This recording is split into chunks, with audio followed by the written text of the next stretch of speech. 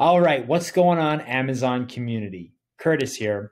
And in today's video, I'm really, really excited to share with everybody an awesome tool that me and my product sourcing team have been using now for the last couple of months to help enhance and really fine tune our product sourcing abilities.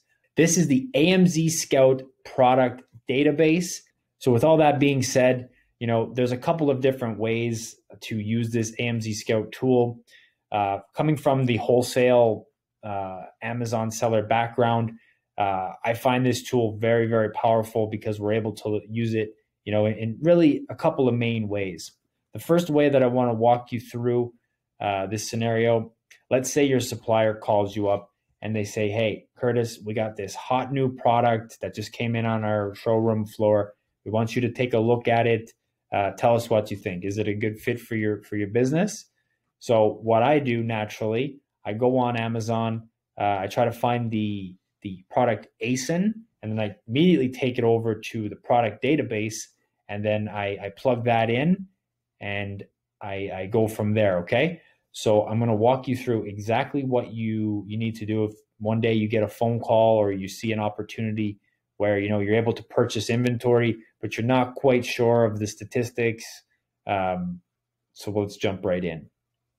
So first thing you want to do, you want to find out what category the product uh, that you're searching for lies under.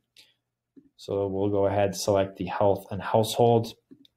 Next thing you want to do, you want to drop in the UPC code or the ASIN.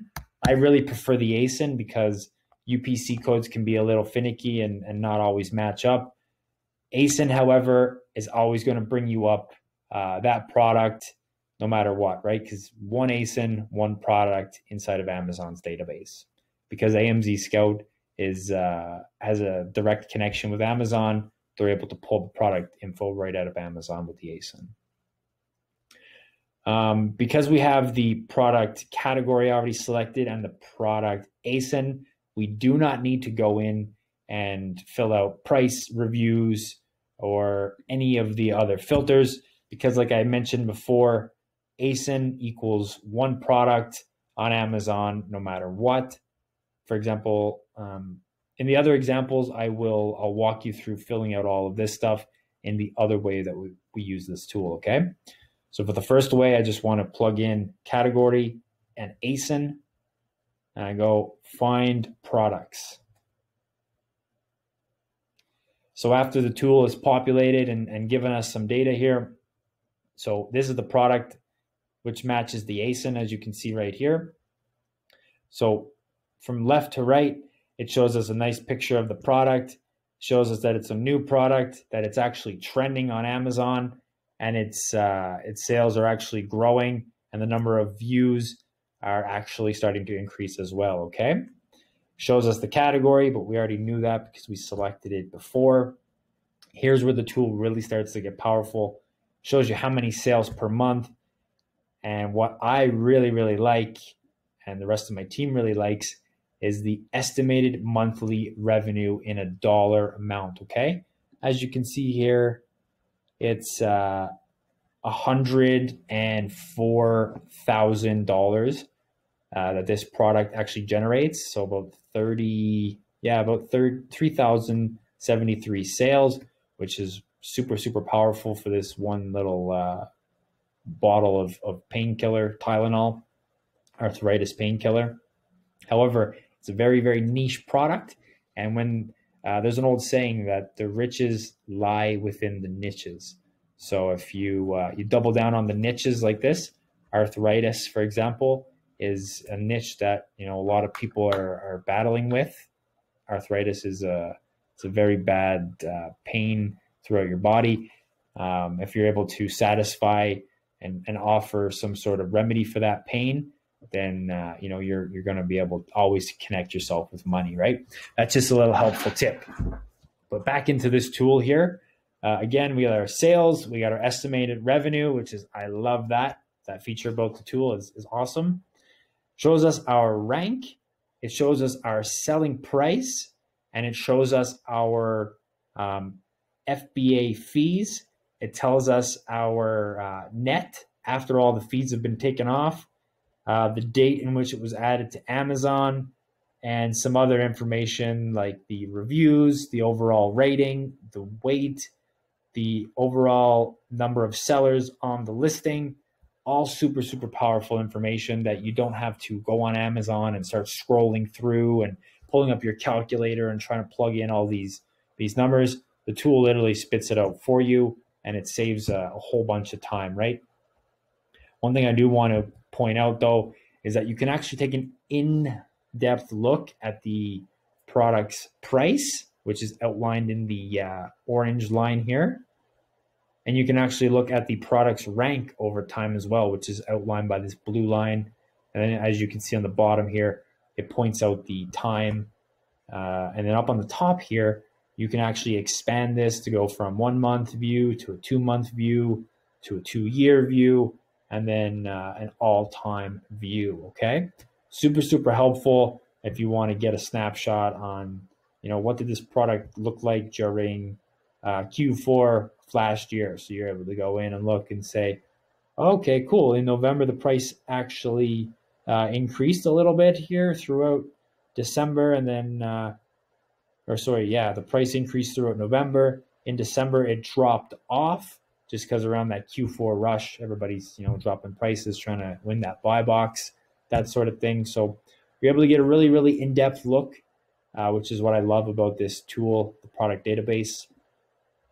So that's the first scenario. Again, supplier calls you up, or you call your supplier and you find out that they have you know this type of product on uh, on their showroom floor they're asking you if you want to buy it you're not really sure about the the numbers overall you uh, all you got to do is grab that upc preferably the asin so just head on over to amazon grab the asin and then uh, come back to this tool plug it in remember to select your category so you can get really detailed and make sure that you uh, you find the right product and uh, away you go one thing I did forget to show you, and I'll show you right now, is the uh, the fee calculator, right?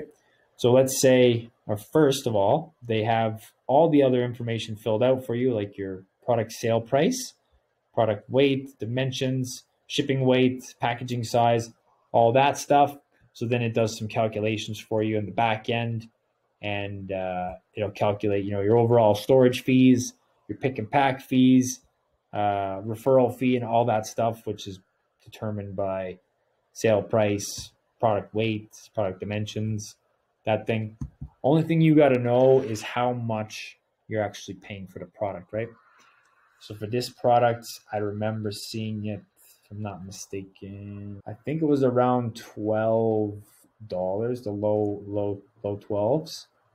So let's add some shipping onto that and let's add the the sticker the fba FNSKU labeling so we'll call it uh, 12 we'll call it 1250 because this is a super super light product as you can see here the total fee is eight dollars and if these um, numbers are within the range that i remember seeing them as the total profit for this actual product is around $12 which is pretty pretty awesome. I'll actually have to go back and check and make sure that I didn't mess that up, but I'm pretty sure I'm bang on with my numbers here.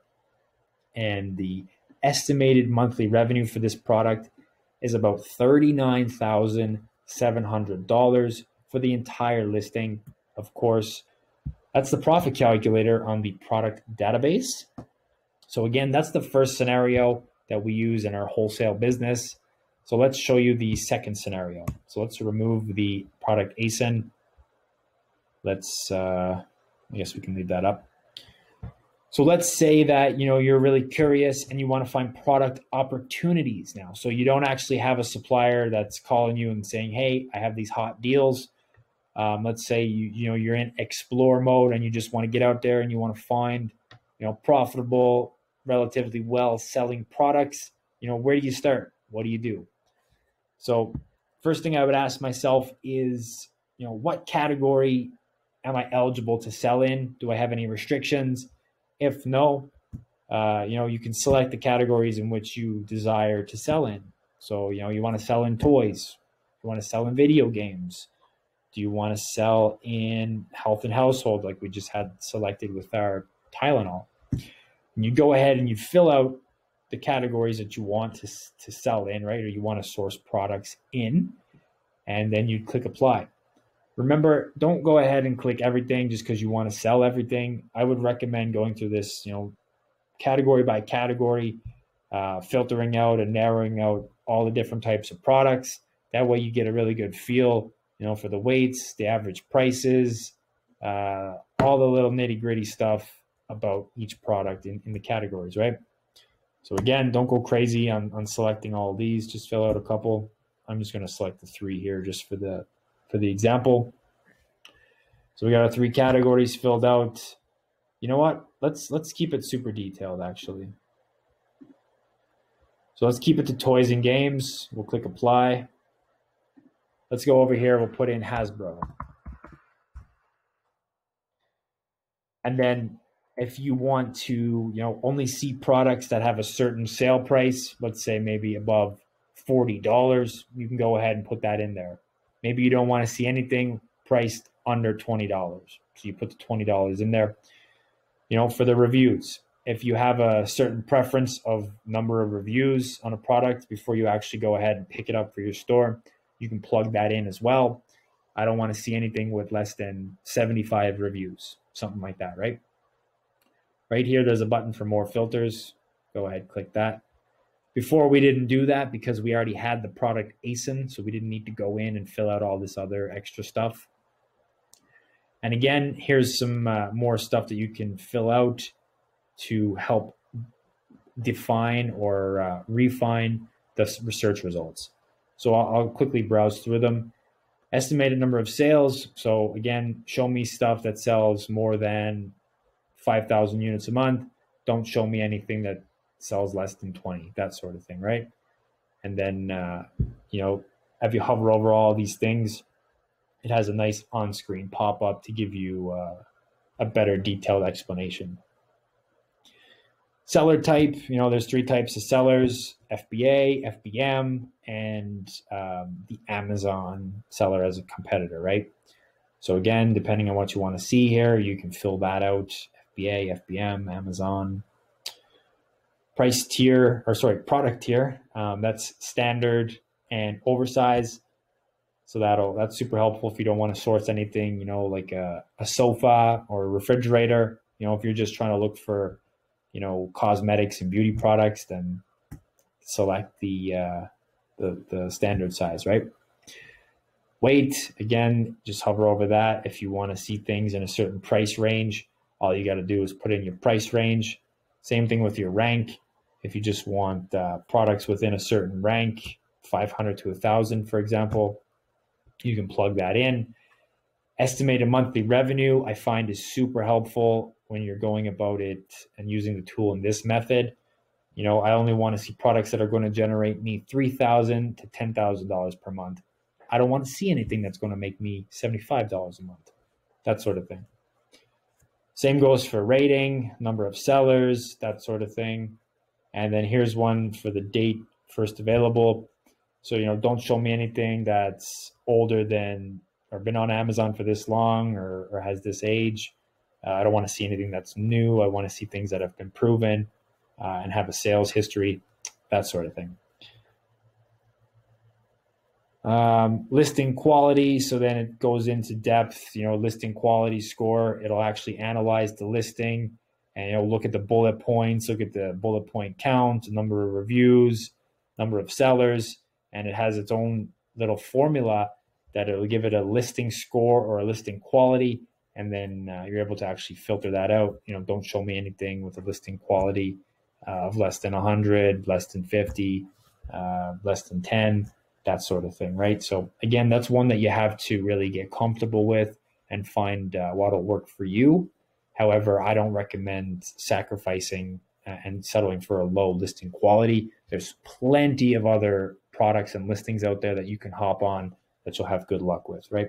And the net, of course, is the uh, last thing here, and that's the difference between the product price and the amount of fees, uh, the min and max all that sort of thing. So the net is the actual amount of money or amount of revenue that's left over after all the fees, all the pick and pack fees, the FBA fees, the shipping fees, paying your vendor for the product, all that sort of thing. So it's like, hey, don't show me anything with a less than a net margin of 18%. Don't show me anything less margin than 32%, that sort of thing. So I'm not going to go ahead and fill any of this stuff out. I'm going to keep it really, really loose for this example. But again, all I fi- uh, I filled out here is the product category and the uh, keywords. Okay, while this thing loads up here, um, again, this this method is recommended for people who don't have suppliers and they're just they want to get out there, do their product research, see what brands, what keywords, what types of products are actually bringing in the most amount of revenue on Amazon on the first couple of pages uh, in the search results. It's a great tool that'll give you uh, a really nice overview of all those figures that you want to uh, you want to get a get a handle on. So I'm not sure. Oh, there we go. The first row wasn't loading up here. So as you can see, here's our product, a little title for the product. The ASIN tells you who's selling it, tells you what the brand name is, trending, new product, um, category, estimated number of sales, estimated monthly revenue, the rank for that month, sale price for that product, fees associated if you want to sell this via FBA, um, the net that's left over after you've satisfied the fees, that sort of thing. However, do remember that you have to put in your purchase cost here in order to get a true reflection of profit. Okay. Don't think this is your profit. This is what's left over after you've paid all your fees.